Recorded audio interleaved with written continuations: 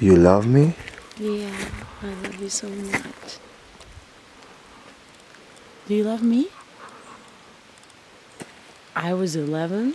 I was very, very small actually. And we were at a school dance. Yeah. And uh, I remember that it was this guy that I really, really liked.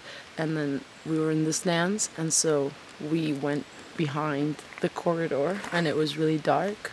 And yeah. and then we sat down and he and he he offered me a smint why would he offer me a smint? I don't know. But he offered me a smint. And then I said, okay, I'll have a smint. And we both sat there having our smints.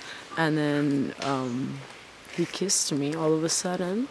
And I felt really like, ooh, it's the first time somebody's kissing me in my life.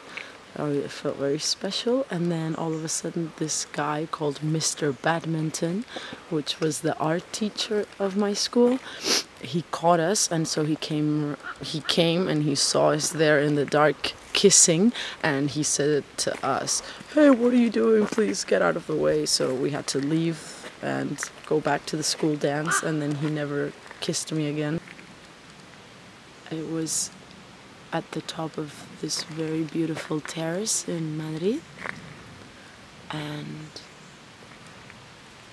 and I had just met this person and we're in this terrace and it was the sun was setting. Yeah. It was spring it was may. Yeah. And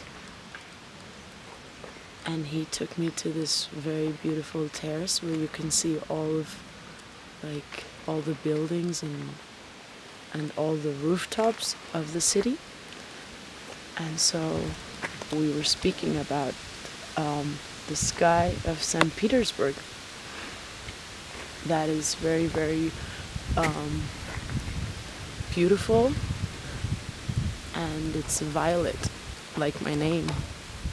And so after we spoke about the sky of St. Petersburg, he he um, he took my chin and he and he kissed me very softly and then I kissed him back and it was windy and I was a bit cold and then I knew that that was the my favorite kiss of my life